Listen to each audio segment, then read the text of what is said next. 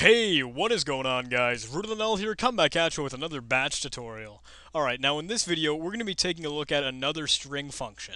Another little piece of code, or another little global toolkit thing for us, another utility that's going to allow us to manipulate strings, or that data type that, you know, works with text, and uh, sentences, and words, and phrases, and that sort of thing. So uh, we're going to be doing that right now, today, in this video, and all that jazz. I'll get CMD and Notepad++ plus ready, and I'll show you what it is we're going to be doing. But first, I'm going to create a new script, and I'll call mine capitalize.bat. And you know, that's exactly what we're going to be doing today. We're going to be working with something that's going to allow us to capitalize the first letter inside of a string if, and only if, the first character inside that string happens to be a letter. If it's a lowercase letter, obviously it'll capitalize. It'll turn into an uppercase letter. If it's an uppercase letter, we don't have to worry about it. If it's a number, yeah, we don't have to worry about it. But we're still going to have to loop through uh, a little bit of code and be able to understand and make sure that it is going to be a letter that we can work with and that sort of thing. But uh, anyway, let's get started. Let's do @echo off as usual, and this is a global tool, so we're not going to set local or anything. But here I'll show you the syntax that I want. I want it to be able to call capitalize and then we'll pass in a string. Anything can go here. And I'm going to pass it in with the quotation marks so we know it'll be a string. And that way, even if they pass in a variable, they can just pass in the value of that variable. Or they can still use any other kind of data. And that sort of thing. So I'm going to stick with that sort of syntax here. And then we're going to need a return variable and uh, that sort of thing. So First, we need to actually be able to tell the we need to be able to tell the difference between the lowercase and uppercase letters. So what we're going to do is actually sort of build ourselves the alphabet. and that might seem a little crazy, but all it really is is just a list or an array of all the stuff. So I'll go ahead and call create array, and I'll call mine uppers.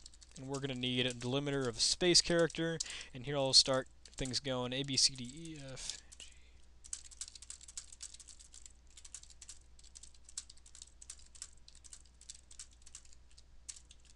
Alright. Now we'll get one for the lowercase letters as well.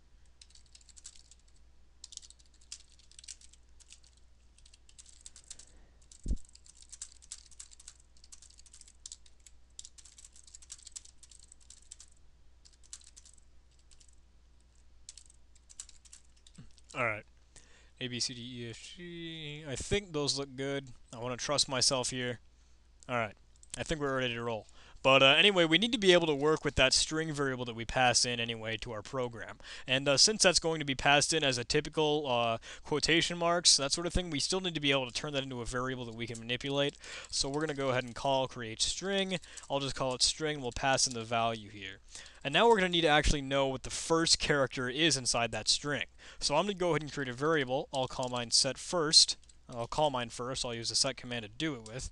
And um, then we're going to need the value of the string, and we're going to use our substring notation here with a colon and tilde. And from the zeroth position, we're going to want the up until the first position. So essentially, the first character.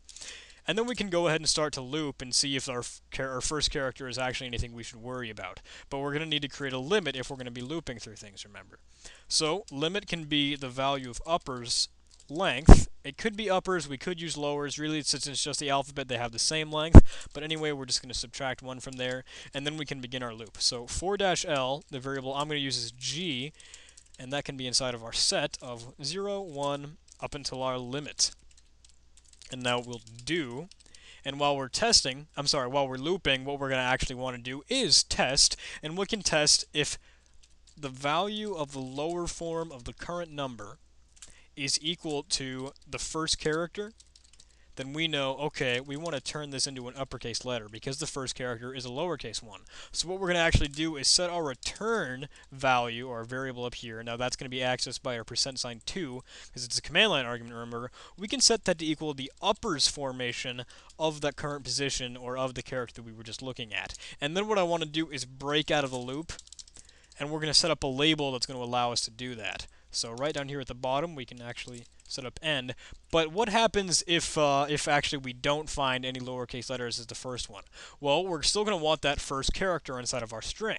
So before we break out of it, what we can do is actually set the first, uh, return value anyway, to equal the first character.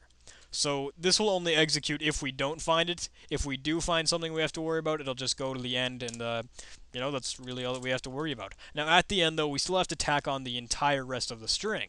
So we can set the percent sign 2 to equal percent sign 2, the value of anyway, we can wrap that in exclamation points, and then we'll put in string with our substring notation from 1, so everything after the first position. And now, when we've got that all set up, we can actually go ahead and run this. But wait a second, we need a script to be able to actually run this from. Because remember, we can't use the script without using set local or anything, so we actually do need to be able to have a script to work with this. So I'll create one, script.bat. This is just a typical script for us.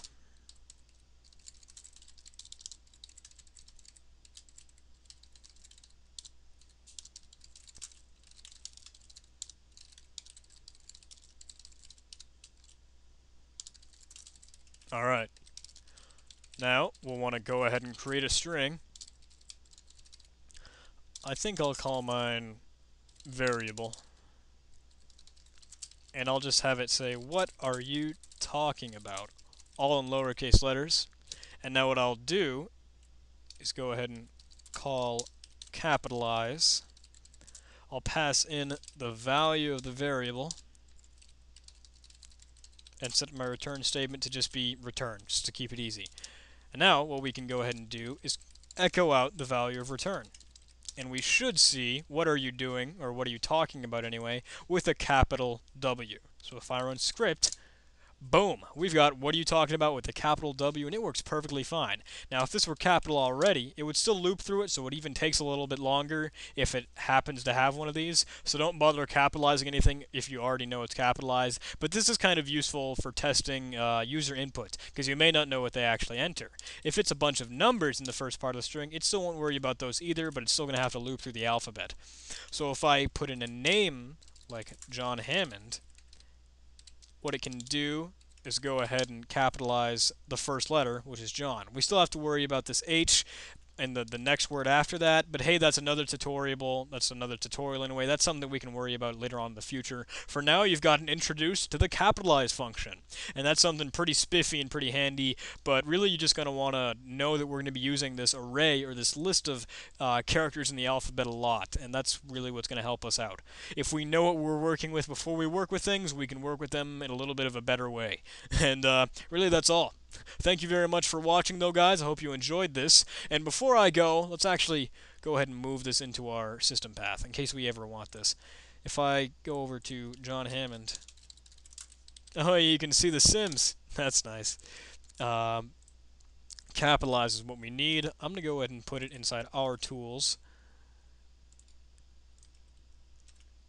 Because I'm trying to keep track of everything that we work with. And we'll move into Windows, System 32, and I can just plop that right in there. Now, no matter where I am, if I move the script into my desktop, if I go into my desktop and then run script, capitalize still works because it's in our system path and we don't have to worry about it. And even though capitalize is not in our current directory, it's anywhere we want it to be. Alright guys, thank you very much for watching. Uh, please leave a like, please comment, please let me know what you think of the series, what you think of this video, what you'd like to see in future uh, tutorial series, that sort of thing. And uh, maybe if you want favorite, subscribe, I don't know. Uh, do whatever you do guys. Thanks again though. Bye.